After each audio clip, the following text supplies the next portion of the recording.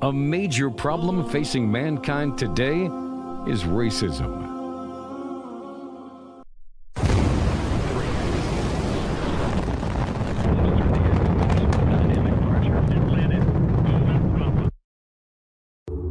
The developed world can send a man to the moon, but cannot eliminate the causes of racism and hatred among communities. Fourteen centuries ago, Islam had wiped them out and established ties of love and brotherhood between Muslims.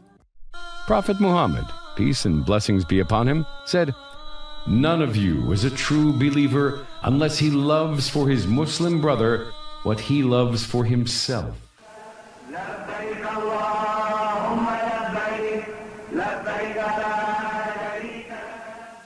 The annual pilgrimage to Makkah reveals the Islamic miracle of the real brotherhood of all races and nations.